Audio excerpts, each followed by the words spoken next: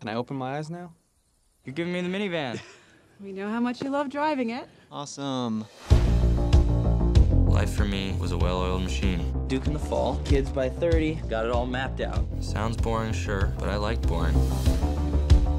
Hey, Mrs. Jacobsen. Hi, Ben. Hi, Radar. Oh, I would hit that so hard. Q, that's a good thing. Does it really make sense for us to go our teenage years never having been to a high school party? We've been to plenty of parties. No. If there's a no. tuba there, it's not a party. From the moment I saw Margo Roth Spiegelman, I was madly in love. Margo and I were practically strangers. Until this one night. What the?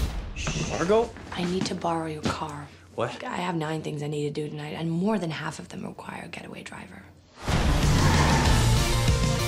My boyfriend has been cheating on me. Revenge plot begins.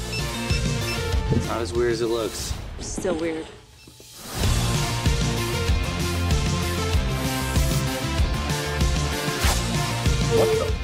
What? We're ninjas. I feel my heart beating in my chest. That is the way you should feel your whole life. Beautiful. It's a paper town, paper houses, and paper people. Margo loved mysteries. Maybe she loved them so much, she became one. She's gone.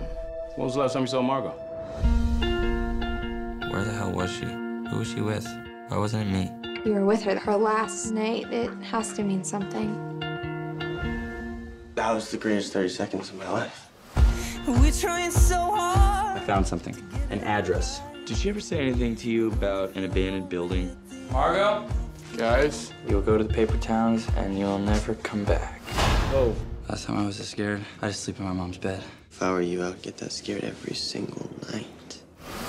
I've never missed school before. It feels kind of wrong. It does feel kind of wrong, but it also feels kind of right.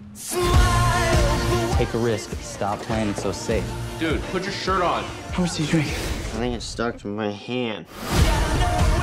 I miss her. I miss her too. If I don't find Margo, it's all for nothing. You have to get lost before you find yourself.